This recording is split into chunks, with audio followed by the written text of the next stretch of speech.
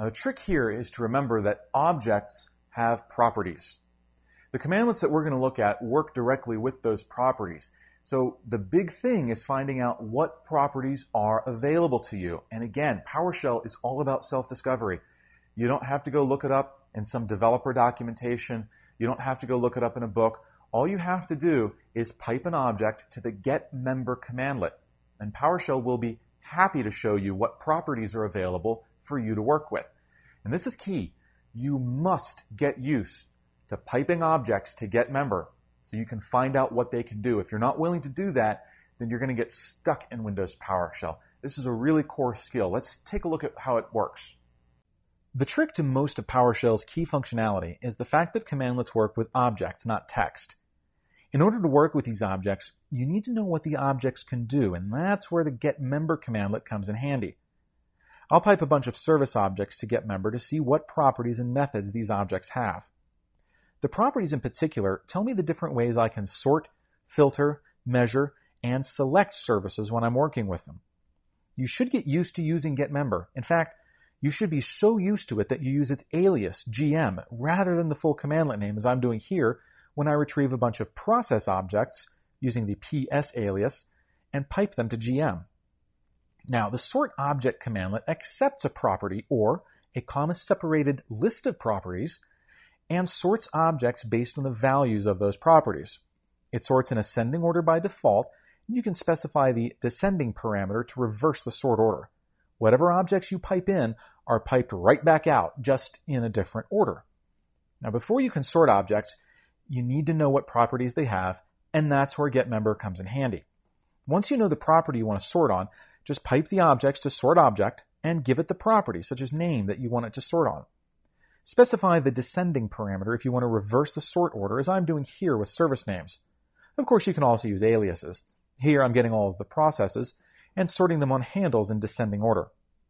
Again, the fact that these processes are objects makes this possible. They have a handles property, enabling the objects to be easily reordered before being converted to text by out default. Finally, I'll get services again, this time using the GSV alias, and sort them on their status property the services remain objects until out default converts them to text. All right, so let's talk about grouping objects. The idea here is to group objects on whatever property you specify using the group object commandlet. For example, you might specify the status property. That's going to look at the status property for every object you give it and put those in different groups based on that property. So every object that has the same value in the property you specify will wind up in a group all by itself. Here's what it looks like. Grouping is pretty much like sorting.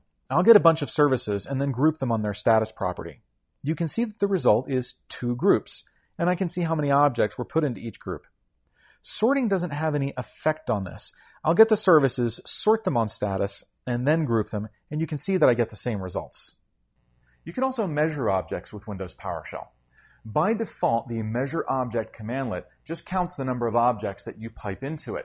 But you can also do some other tricks with it. What's important to remember though is that whatever objects are piped in are not piped out. Measure object consumes the input object and it produces measurement objects on the backside. I'll show you. Measuring objects is cool. At its simplest, I get a bunch of objects, services, in this case, and, and I pipe them to measure object, and it tells me how many there are.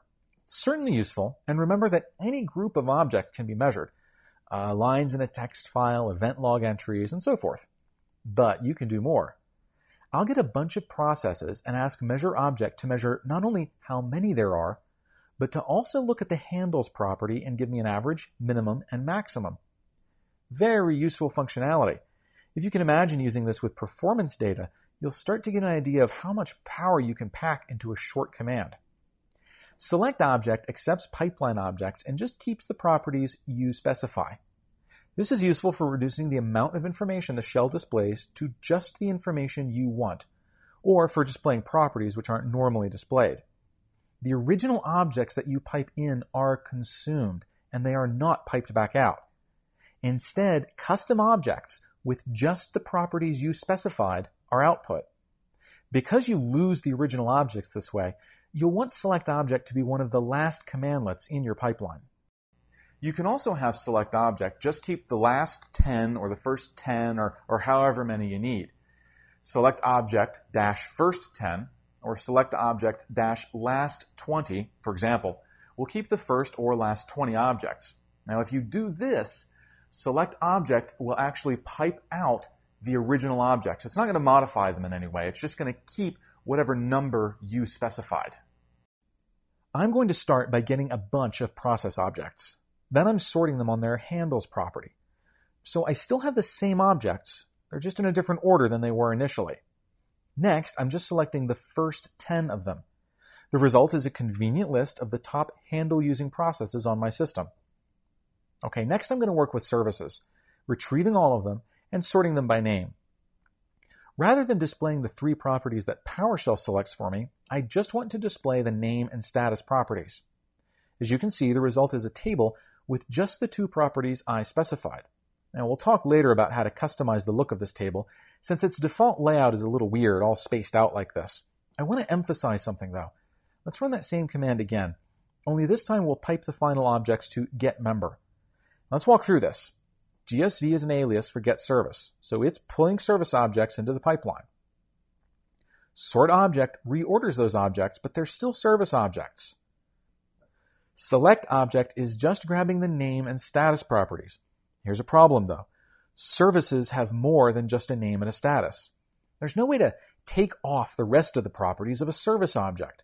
So what select object does is create a brand new type of object, which just has a name and a status property it copies the values from my service objects into a bunch of these new custom objects.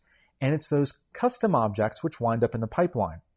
When I run this command, getMember verifies that my service objects are gone, and I'm left with these trimmed down objects. Select object always does this when you specify a property list as I did. Please pause this video now and follow the instructions in your lab guide to complete this lab. There are hints in the lab guide if you need them, and try to complete the lab without referring to the solution in your lab guide. When you're done, resume this video and I'll review a sample solution with you. Here are some sample solutions for lab 5-1. Task 1 is simple enough. By piping getService to getMember, I can see the properties and methods, collectively they're referred to as members, of a service object. For task 2, I'm doing the same thing, only with a different type of object event log entries. This allows me to see the property names that are available for an event log entry. In task 3, I'm getting a bunch of processes, sorting them on handles in descending order, and then selecting the first 10 of them to be converted to text and displayed.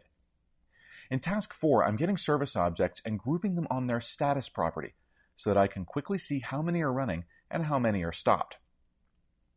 For task 5, I'm counting the total number of services by piping getService to measureObject. And in task 6, I use measureObject again, but this time I measure the average, minimum, and maximum of the process objects on my computer. Finally, in task 7, I start by retrieving events from the security event log. I pipe those to select object and just keep the event ID and time generated properties so that I can just look at the information that interests me.